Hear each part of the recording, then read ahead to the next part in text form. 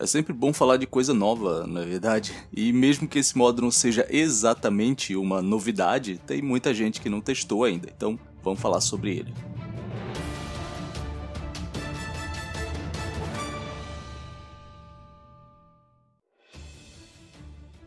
Ok. Beleza, guerreiros? Eu sou William Roth. Hoje vou falar com vocês aqui um pouco mais sobre The Division 2, mais especificamente sobre o modo Hardcore, beleza? Vamos lá então. Mas antes, já convido você a deixar o like aqui para poder ajudar. Aproveita e compartilha também esse vídeo para que ele chegue a mais pessoas interessadas nesse tema, ok? E ao final do vídeo deixa aí também o seu comentário para que a gente possa desenvolver melhor o assunto. É sempre interessante a gente ter essa conversa, ok? Caso seja novo por aqui, claro, se inscreve, ativa o sininho, tem muito conteúdo aqui sobre esses temas que você está vendo por aí. Dá uma olhada aí na página principal do canal, tem muita coisa sobre The Division, muita coisa sobre Ghost Recon, sobre Splinter Cell, sobre Metal Gear, COD e tal. Pensou em jogo de tiro, jogo de tiro tático? Então você está no lugar certo, beleza? Recado dado, vamos que vamos.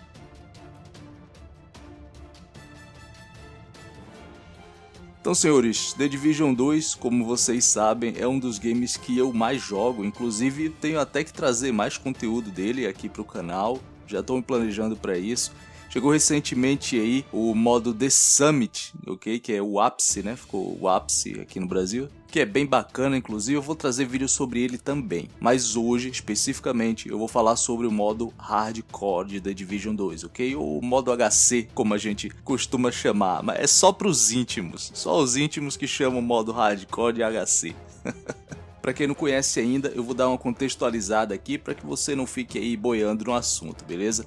No final do ano passado, o The Division 2 ele recebeu um update, como tantos outros aí que ele tem recebido ao longo desse ano, e essa atualização tinha como principal novidade o modo Hardcore. Né?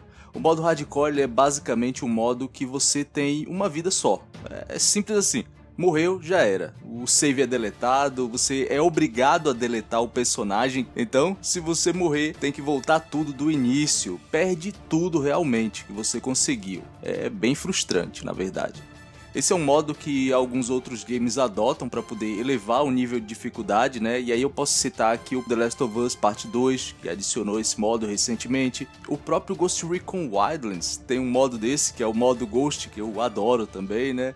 E esse modo com certeza tirou o sono de muita gente. Na verdade, se tirou o seu sono também, comenta aqui embaixo. Eu sei que muita gente passou maus bocados aí no modo Ghost. Pois bem, eu sou um grande fã desse tipo de modo nos games. Inclusive, para mim todos os games deveriam ter um, modo como esse, né, para poder testar aí as habilidades e a paciência dos players, na é verdade.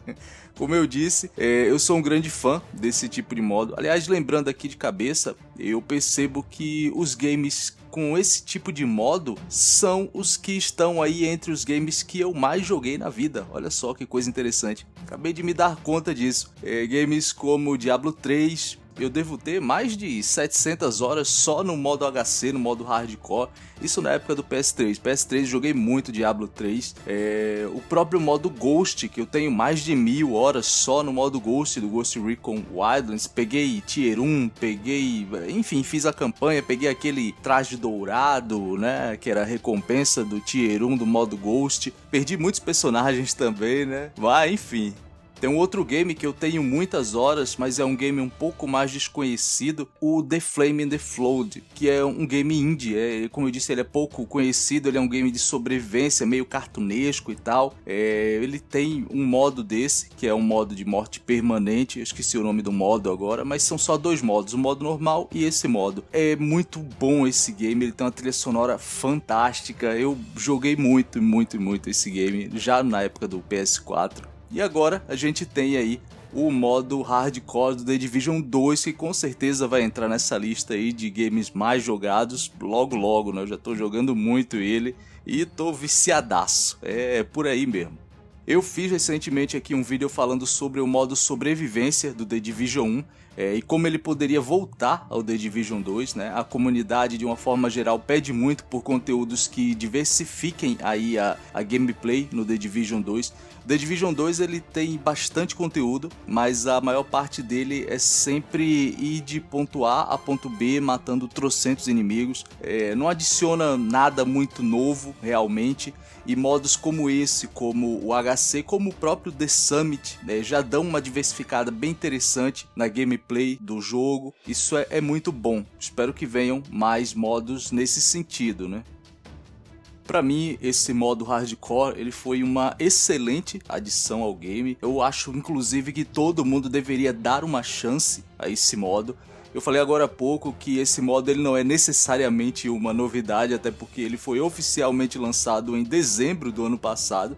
Mas quando eu falo em novidade, eu quero dizer que esse modo ele pode sim ser uma grande novidade para muita gente que não deu nenhuma chance a ele. Pessoas que acham uma perda de tempo, um modo onde se você morrer, você vai perder tudo, né? E, enfim, esse modo ele realmente não é para todo mundo. Mas se você curte jogos um pouco mais táticos, como a gente apresenta aqui, é, a gente sabe que o The Division ele é mais voltado pro RPG, mas em alguns modos como esse, ele pode ser sim bem tático. Você tem que ficar muito esperto em cada esquina que você vai passar ali, né? Cada missão que você entra é sempre uma caixinha de surpresa. Você sempre tem que planejar muito bem a sua estratégia de abordagem. É, é bem complicado, inclusive é muito melhor se você estiver jogando em equipe para poder desenvolver melhor essa estratégia. Mas mesmo solo, ele fica muito mais tático que o modo normal, né?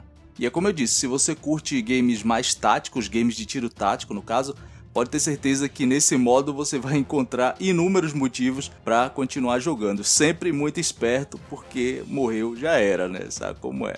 É o modo Ghost do The Division 2. Eu realmente recomendo muito esse modo para todo mundo, inclusive para quem julga mal esse modo, né, dizendo que não faz muito sentido jogar centenas, centenas de horas, é, sair luteando mó tempão e perder tudo num segundo, né? E é exatamente aí que tá a graça da coisa no modo hardcore, né? Nesse modo hardcore, você vai ficar sempre muito mais ligado, a adrenalina fica alta o tempo todo, né? Porque é um modo muito punitivo. Você não tem o direito de errar. Se errou, morreu, já era, né? E isso traz um ingrediente muito bom ao game. Jogar com os amigos, como eu já falei, no cooperativo, é ainda mais tenso e mais tático, no caso, né?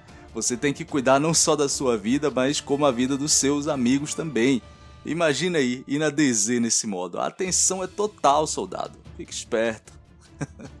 Então, fica aqui o meu recado. Encare esse desafio, jogue o modo hardcore e tente sobreviver o máximo conseguir. Com certeza você vai sentir que cada conquista dentro do game vai ser muito mais saborosa, muito mais gratificante, entendeu?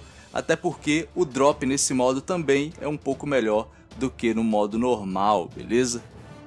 Então é isso, pessoal. Agora é com vocês. Comentem aqui embaixo se vocês já jogaram, se pretendem jogar o modo hardcore. Vale muito a pena. Ficou muito interessante. Ele está em modo beta ainda, né? Mas logo logo deve estar tá saindo. Mesmo no beta dá para jogar.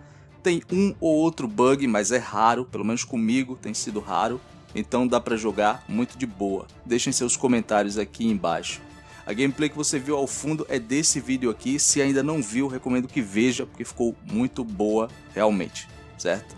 Se quiserem ajudar ainda mais o canal a ganhar recompensas exclusivas por isso, então torne-se membro. Aí você vai ganhar vários benefícios por aqui, inclusive podendo fazer parte aí do nosso grupo exclusivo no WhatsApp, fazer parte do nosso squad de membros para jogar de forma tática conosco, como você acompanha por aqui nas gameplays, ok? Clica aqui embaixo no botão seja membro e faça parte aí da nossa família, beleza? Valeu, falou e até a próxima.